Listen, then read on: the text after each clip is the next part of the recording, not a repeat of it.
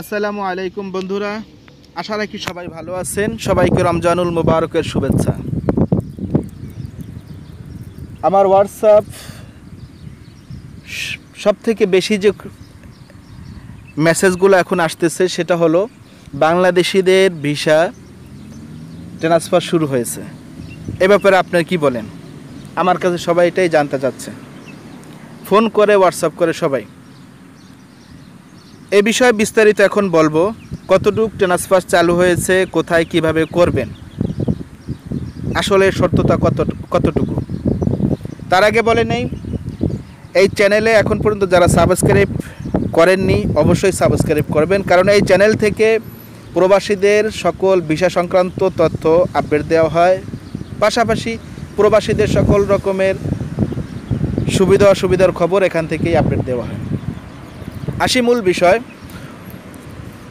বাংলাদেশিদের visa transfer শুরু হয়েছে কীভাবে? আসলে বাংলাদেশিদের ভিসা ট্রান্সফার শুরু হয়নি। বাংলাদেশিদের কাজ শুধু বাংলাদেশিদের না, যে কোনো দেশিদের, যে কোনো ন্যাশনালিটির হোক না কেন, তাদের কাজ ট্রান্সফার শুরু হয়েছে। এর মূল রহস্যটা, মূল বিষয়টা হলো এখন নো ওয়ার্ক নো স্যালারি মূল বিষয়টা হলো এটা, যে সব কোম্পানি যাদের কাজ নেই বা কোম্পানি বন্ধ হয়ে গেছে কন্ট্যাক্ট নেই, কারণ এখন সব দোকানপাট বা মার্কেট যা খোলা আছে সেগুলো হলো খাদ্য সামগ্রীর সাথে যারা দেশ সংশ্লিষ্টতা আছে, সেই সব দোকান বা মার্কেট এখন মোটামুটিভাবে খোলা আছে আর বাকি সবগুলোই মোটামুটি এখন বন্ধ সব কিছু এজন্যই নো ওয়ার্ক নো স্যালারি এর আওতায় যারা পড়তেছেন বা যাদের কোম্পানিগুলো, যে অনেক কোম্পানি আছে বা মালিক পক্ষ আছে যারা, তাদের কাজ না থাকলেও স্যালারিটা পেমেন্ট করতেছে। কিন্তু এখন যদি কেউ যে কোম্পানি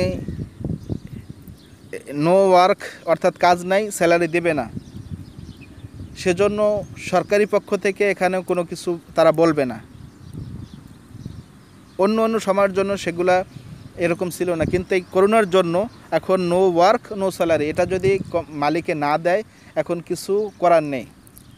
সরকারিভাবেও কোনো অ্যাকশন হবে না।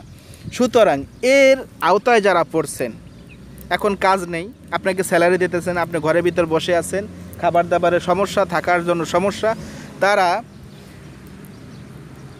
যে কোনো জায়গায়, যে কোনো কোম্পানিতে বা যেখানে কাজ আছে, আপনি কাজ খুঁজে সেখানে তাদের জন্য যাদের নো ওয়ার্ক নো স্যালারি যারা খাবার দাবার খেতে পারছেন না রুম ভাড়া দিতে পারতেছে না, তারা এখন যে কোনো জায়গাতে গিয়ে কাজ করতে পারবেন। এটা ডিসেম্বর পর্যন্ত এই সুযোগটা আছে। কিন্তু আপনার মালিক পক্ষ যদি আপনাকে যে সে কাজের অনুমতি না দেয়, মালিকের কাছ থেকে আপনার পারমিশন নিতে হবে। মালিকের পক্ষ থেকে যদি আপনাকে পারমিশন না দেয়, তবে তাকে স্যালারি দিতে হবে। আর যদি স্যালারি না দেয়, তবে আপনি যে কোনো জায়গায় গিয়ে আপনি এখন বর্তমানে কাজ করতে পারবেন। আপনার মাল, আপনার কোম্পানি যতক্ষণ পর্যন্ত বন্ধ আছে। আবার যখন খুলবে আপনার কোম্পানি আপনার কোম্পানির কাজ, তখন আপনি এখানে কাজ করবেন, সেখান থেকেই তো আপনাকে স্যালারি দেবে। এখন আপনার ওখানে কাজ নেই, আপনি যে কোনো জায়গায় গিয়ে কাজ করতে পারবেন, কাজ খুঁজে, সেজন্যই মূলত এটা।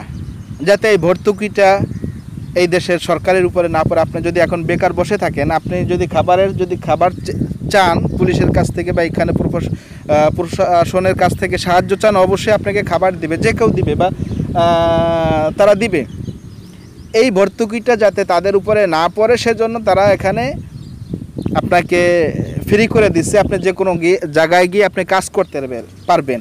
অর্থাৎ হলো কাজের জন্য আপনি যে কোনো গিয়ে, জায়গায় গিয়ে কাজ করতে পারবেন। Work transfer no visa transfer শুধুমাত্র কাজ আপনি এখান, যে কোনো জায়গায় গিয়ে করতে পারবেন। শুধু তারাই যাদের কোম্পানিতে কাজ নেই।